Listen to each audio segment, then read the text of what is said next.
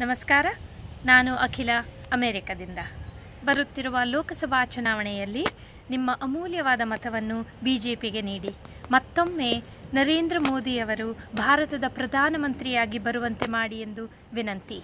ಜೈ ಭಾರತ, ಜೈ ಕರ್ನಾಟಕ. ಧನ್ಯವಾದಗಳು.